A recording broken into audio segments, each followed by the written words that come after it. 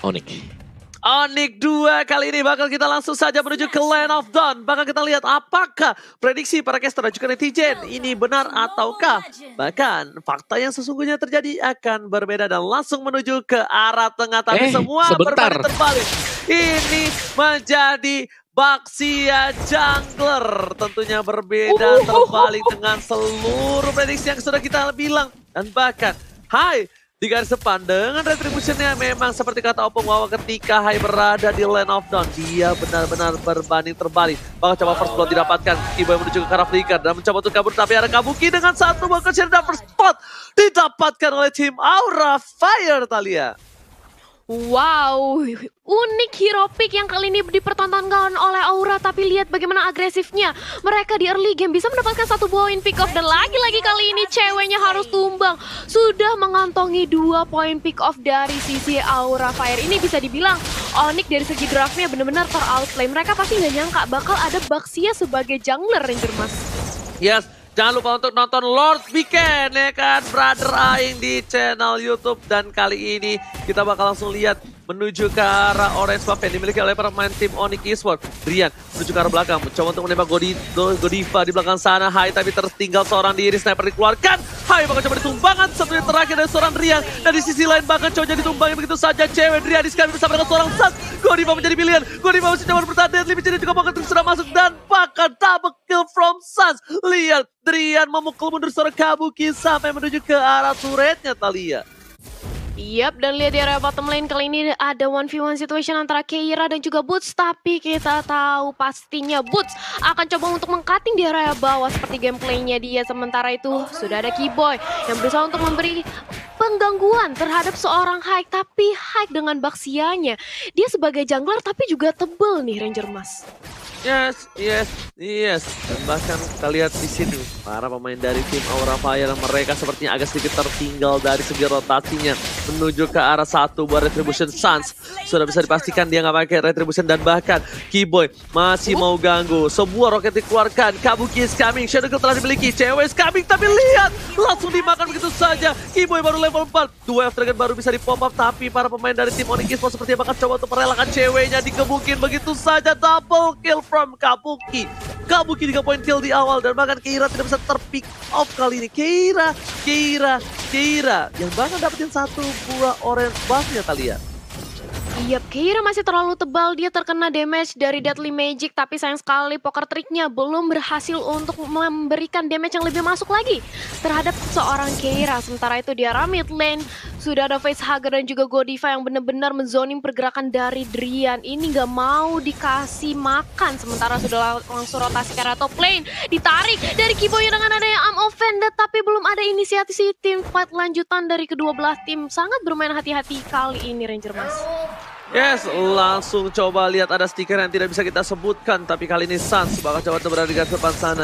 Godiva bakal mengganggu. Keep point freestyle dulu bang. Dan lima dan juga Poker udah pasti bisa menumbangkan seorang Godiva. Hilang begitu saja di tengah jalan. Dan bakal shadow kill. Sans bakal coba ditumbangin. Dan bahkan execute Oh. Israel. Satu yang mahal. Celengan pecah. Dengan tiga poin kill diamankan oleh seorang Sans. Membuat Kabuki mendapatkan Yup. 4 poin kill plus shutdown.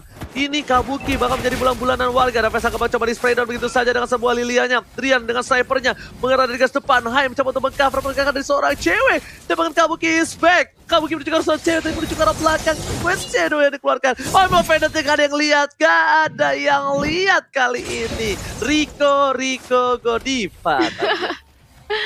Iya, tapi sementara itu kita akan melihat adanya turtle yang sebentar lagi akan hadir di tengah-tengah land of down. Dengan adanya network yang tidak berbeda jauh dari Onyx maupun Aura Fire kali ini, turtle bisa menjadi makanan siapa aja. Dan kali ini sudah langsung dimulai keberadaan turtle-nya oleh Sans. Tapi sudah ada Godiva juga yang memantau di sana. Kiboy datang. Akankah terjadi duel of dragon ke arah seorang Godiva? Tapi nampaknya masih ditahan aja. Dan ini dia, duel of dragon yang terkonek ke arah seorang Godiva. Godiva yang mencoba untuk diamankan, tapi ternyata Baksianya justru dia berhasil mengamankan turtle-nya dan ditukarkan dengan satu untuk Godiva. Sementara itu dari Onyx mereka nggak mau untuk melakukan overcommit juga. Mereka mundur, mereka sudah kehilangan turtle walaupun mereka mendapatkan satu poin pick off. Apakah ini sebuah pertukaran yang menguntungkan dilihat dari sisi networknya yang hanya berbeda tipis aja Ranger Mas? Oke, Kabuki, Quad Shadow-nya masih menyelamat dan bahkan dari sini mencoba ditembak begitu saja. Keyboy dua Dragon masih ditahan, gak mau overcommit dan Rian gak jadi mengeker satu bos sniper. Oh my god! Oh my god! Rian! Lihat sniper dengan kali 8 berhasil menshutdown Kabuki di top lane. Rian, Rian, Rian, Rian. Gila kaget sekali aku dan serangan ini. Duel sangat dikeluarkan. Roket menuju ke arah Godiva. Bakal coba di dan begitu saja dan Godiva mas down di arah top lane Talia. Yap, satu tumbang tapi sementara itu kali ini dari Hike juga mencoba untuk melakukan rotasi arah top lane. Tapi lihat dia dicicil oleh snipernya Drian sakit banget. Bahkan seorang Baxia juga bisa dilelehkan oleh Drian. Dan satu objektif tarat di arah top lane kali ini berhasil dirontokkan. Dan cewek mencoba untuk melakukan cutting tapi sementara itu sudah ada poin pick off terhadap Sans. Tapi ditukarkan satu untuk satu aja sejauh ini Ranger Mas. Yes, pertukaran masih belum cukup adil. Lihat dibuka begitu saja. Tiga versus satu. Cewek mencoba untuk bertahan. Tapi langsung counter. Langsung menjadikan seorang Bellerin geprek di arah top lane sana. Langsung jadi Bellerin geprek dengan pedas level 1. Meanwhile di arah bottom lane. Para pemain dari tim Onyx Esports Esmeralda berhasil mendapatkan satu buah torret objektif harusnya dari tim Aura Fire. Membuat Onyx Esports memiliki keunggulan 2000 bahkan dari segi goldnya. Dan di sini itemnya open wow silakan. Iya, sebagaimana kita ketahui memang untuk Sun sendiri dia bisa udah mendapatkan uh, Genius One bersama dengan Calamity ini bakal sakit banget kan yang, yang dia udah dapetin cooldown reduction, terus juga dengan adanya uh, poker tricknya bakal bisa double double untuk damage-nya sendiri. Uh, Aura Fire mereka sebenarnya untuk bag bagus banget, tapi secara objektif wise mereka harus kalah uh, Ranger Mas. Yes, bakal coba dipasang begitu saja. Black Shoes menuju ke belakang. Kiboy masih menjadi pilihan. Bahkan Almo ya lagi-lagi gak kena. Dan bahkan di sisi lain, udah ada perimeter yang membuat para pemain dari tim Aura gak bisa masuk ke arah backline. Dan bahkan Suns-nya kali ini bebas untuk dapetin turtle. Tak terbatas. Suns melampauinya. Dan bahkan para pemain dari tim Onyx Esports mengungguli dari segi gold. Bahkan membuat dia di 3000 menit yang ketujuh. Yap, perbedaan 3000 network ini merupakan hal yang cukup menguntungkan bagi Onyx Esports. Ditambah lagi kalau mereka bisa bermain stabil untuk merontokkan dari sisi objektif ya tapi sudah ada konsil yang di pop up kali ini. Saya mau menjadi pilihan. Nampaknya mencoba untuk di sandwich aja. Oleh teman-teman dari Aura tapi datang kali ini dari Kiboynya. Justru malahan high yang terkena The Wave Dragon. Tapi nampaknya Kiboy menendang ke arah yang salah karena tidak ada backup damage bala bantuan dari Batrix maupun dari Belerix sementara itu langsung berotasi lagi arah mid lane. Mencoba untuk mengamankan dari sisi Suns-nya. Dan jangan lupa buat vote game momen favorit kamu di Snack Video untuk mendapatkan skin spesial Ranger Mas. Yes, yes, yes, betul, bukan sembarang betul. Tapi Adrian mencoba melakukan clear di arah tengahnya dengan cukup cepat.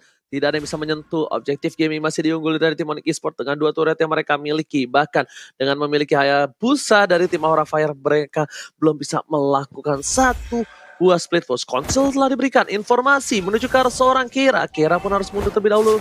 Ada Godiva di depan sana. Tapi Vesager mengcover dengan cukup baik.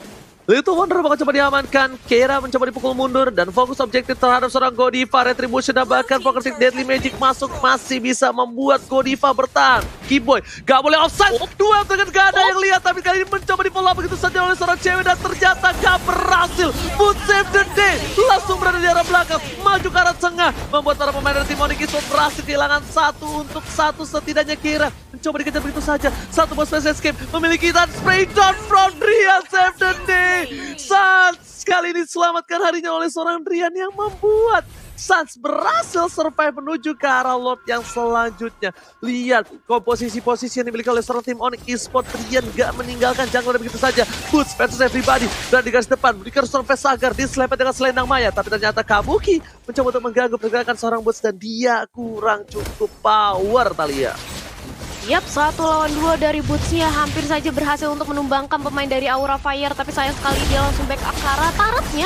Dan kali ini Lord yang sudah mulai di start dan mencoba untuk dilakukan kontes. Tapi sayang sekali Kabuki. Kali ini langsung menjadi punishment dan Lordnya masih berhasil diamankan oleh Sun. Sementara itu Harley-nya kali ini sudah hilang. Tapi Godiva berada tepat di tengah-tengah dari pemain Onyx. Sementara dari Hike-nya dia nggak bisa berbuat banyak karena kali ini dia hanya bisa dijadikan samsak aja. Benar-benar menerima damage yang sangat banyak dari teman-teman Onyx Esports. Sementara itu kali ini ditumbangkan karena sudah ada paling pun juga karena depan Butch yang menggila. Dia benar-benar nahan badan dan juga memberikan damage yang cukup besar bagi tim Onyx Esport Ranger Mas. Yes, Jara Midlane bakal menjadi objektif. Down dikeluarkan, mengusir mundur para pemain dari tim Aura. Lihat, Vesager cuma bisa bertatap muka dengan seorang Keyboy.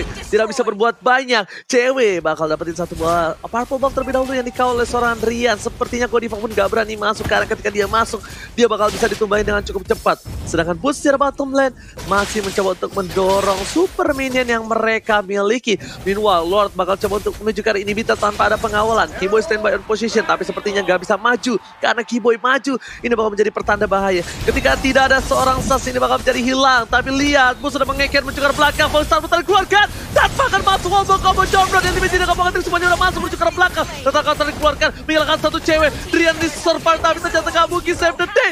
Execute bersama dengan satu buah poin lagi. Dua hilang untuk tim Onyx Esport. Kehilangan momentum mereka dan harus mundur ke arah belakang. Hai, mencoba untuk mengejar seorang Keyboy. Keyboy bakal coba dipaksa. Kill tadi keluarkan. Keyboy masuk Down kali ini gak bisa bertahan. Shadow kill dari seorang Kabuki langsung menancap ke jantung dari badan seorang Kiboy di Kiki Boy Boy Talia.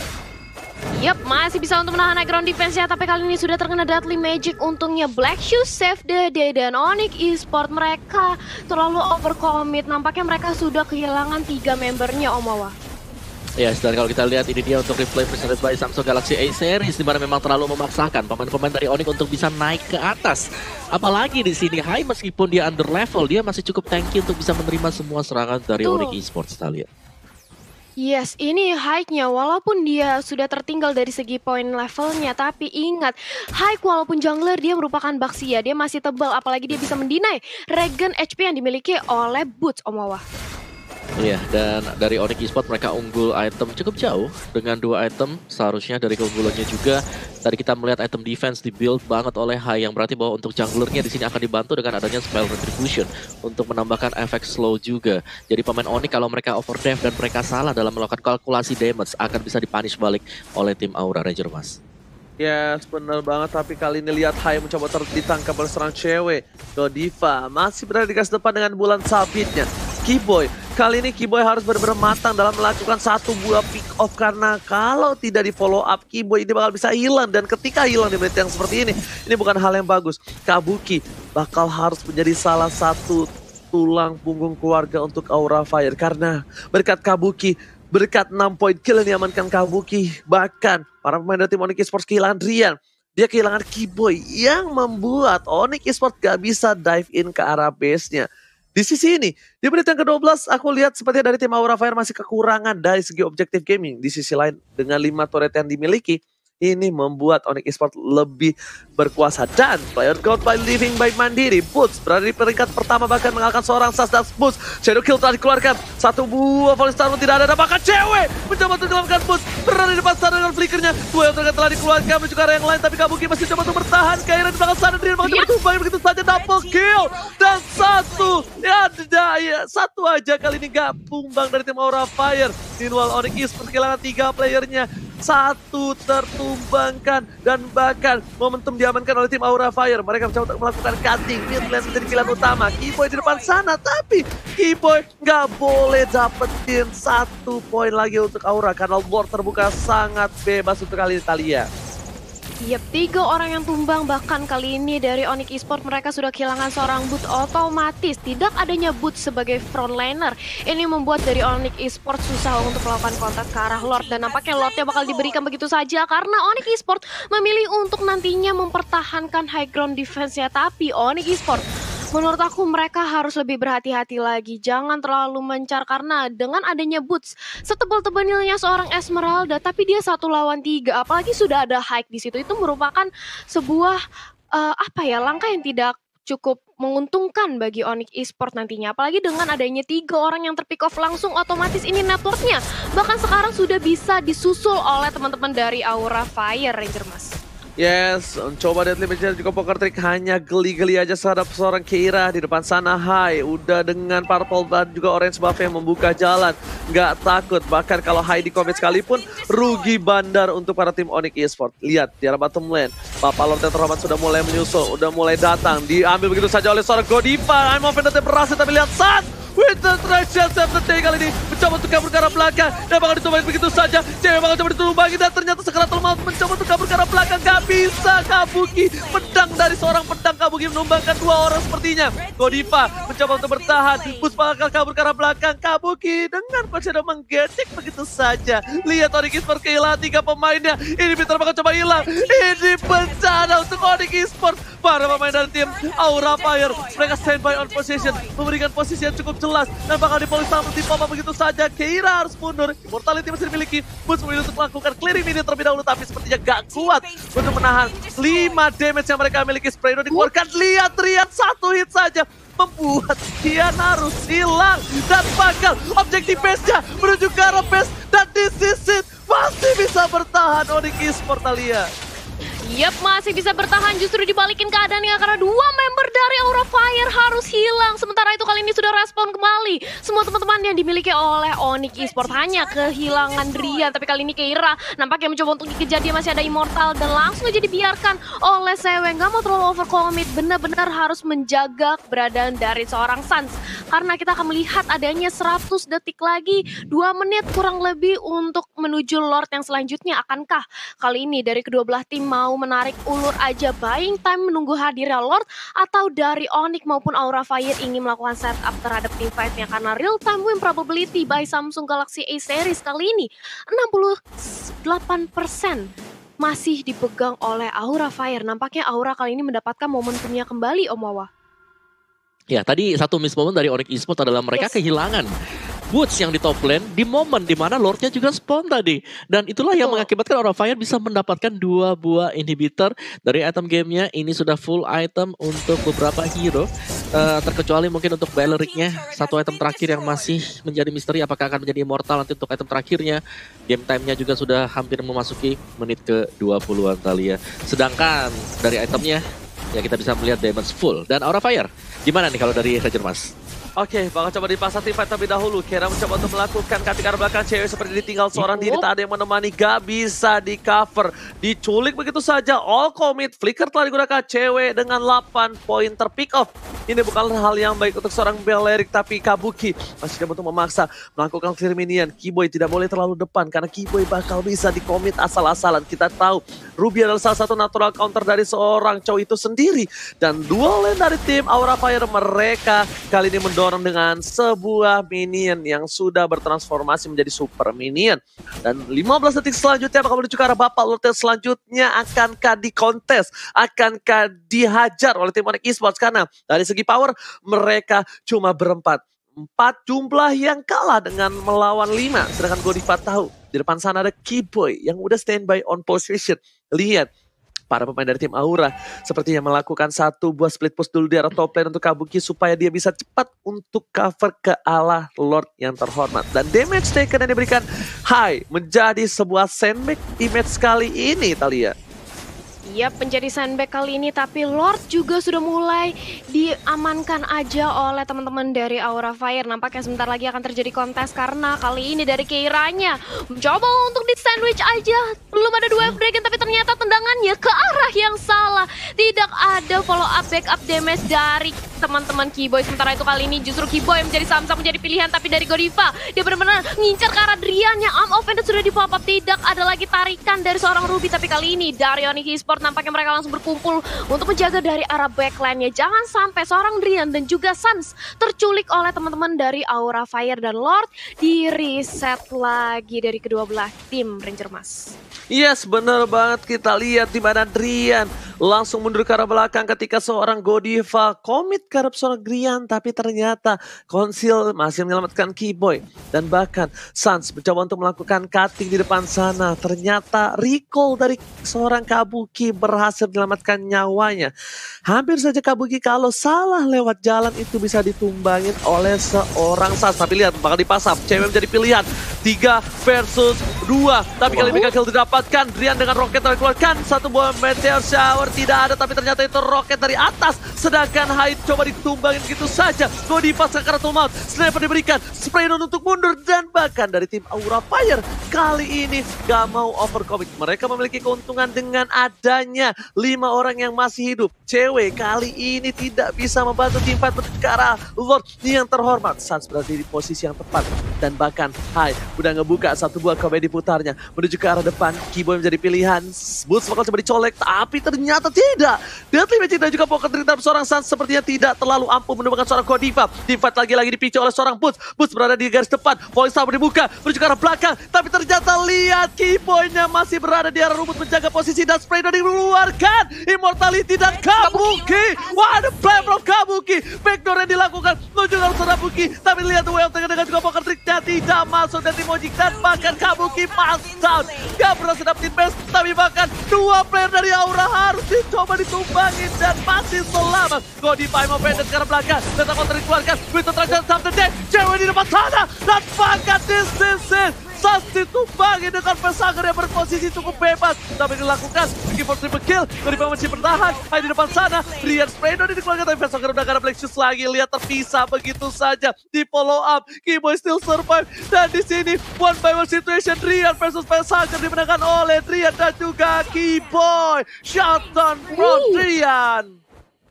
Yap, double kill berhasil diamankan oleh Drian. Drian, Drian, dia merupakan salah satu kunci bagi kemenangan atau mempertahankan high ground defense untuk Onyx Esport karena hanya dia yang bisa melakukan damage yang begitu besarnya ke arah teman-teman dari Aura Fire. Dia benar-benar nyicil banget dengan adanya biru dan kali ini dari Keira-nya mencoba untuk mengamankan Purple buff tapi sayang sekali Keira harus mundur karena di situ sudah ada Keyboy yang langsung mendinai pergerakan dari Keira Omawa. Yes, dan ini dia untuk item build-nya kita sudah akan mengarah ke beberapa immortal juga. Di mana butuh banget di atas menit 20 nanti untuk respawn time-nya akan 90 detikan. Tapi tidak ternyata item terakhir yang dibuild oleh Belleric oleh cewek. Bukan immortal tapi adalah toilet armor.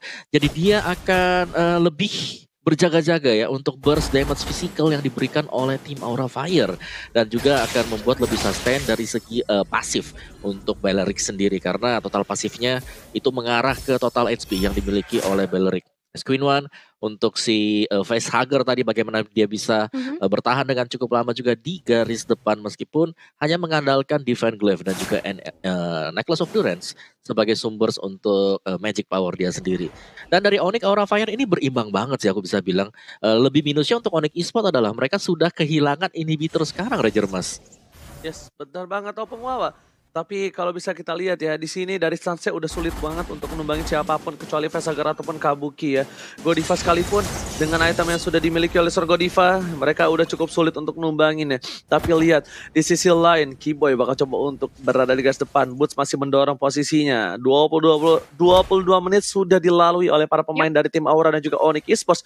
Bahkan kalau bisa kita lihat sendiri, Sans yang mencoba untuk colek ke arah satu buah lot terlebih dahulu. Keira, ini kalau udah bisa komit menuju ke arah Sans, ini Keira bakal enak banget. Dan bahkan kita lihat Kabuki kali ini di depan-depanan sama seorang cewek yang harusnya Onyx Esports yang berada di posisi yang kalah untuk kali ini. Tapi lihat, dari laning yang disiplin dilakukan Onyx Esports, mereka bahkan yang mendorong dari semua minion yang mereka miliki ya Bung Wawa. Iya, dan Lordnya juga masih dipancing-pancing sih sekarang dari uh, Onyx sendiri. Mereka sudah berhasil sebenarnya untuk ngedorong minionnya. Tinggal bagaimana nanti cara mereka eksekusi. Karena untuk tim fight 5 lawan 5, orang Fire mereka kuat banget. Mereka punya Balmon, mereka punya uh, Baxia yang pakai sama yang bisa ngurangi regionnya. Ada Ruby juga.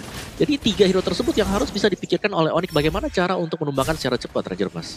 Oke, lihat. Konsil telah dibuka. Adrian yang menjadi pilihan dan bahkan Adrian suka berkara belakang. Kimoy ternyata bakal coba di-commit. Rocket telah dikeluarkan, mencoba untuk cover. Dua Striker belum dikeluarkan, hype dari pilihan. Dan Imagine juga bakal bersama dengan Spredo. Dua ultimate yang sudah keluar kali ini. Satu buat Shadow Kill. Rian bakal coba Wither Touchdown. Tapi ternyata di sini Wayne of Nature. Dan bakal cewek menangkap seorang Kabuki. Kabuki hilang, immortality-nya pecah. Ditembak lagi, tapi lihat Winter Touchdown. Gak bisa menyelamatkan hari yang terlalu baik untuk seorang Kabuki. Sedangkan Keira oh, oh. mencoba untuk menzoning antar main dari tim Onyx Esport. Sebuah lethal counter dikeluarkan bersama dengan Winter Touchdown. Bahkan menghilangkan seorang cewek di depan sana. Dan bahkan di sini semua Winter Touchdown sudah terbuka. Tiga harus hilang. Ini bencana. Aura Fire mereka mengguiding dan bahkan Kabuki yang harusnya ditumbangin kali ini masih bertahan di line of them. Ternyata San dan juga Rian sepertinya dia menjadi akhir dari tim Onyx seperti game yang pertama Opung Wawa. Wow, sempat unggul di early ternyata Aura Fire. Mereka ngembalikin semuanya tadi dengan tim fight yang sangat rapi sekali.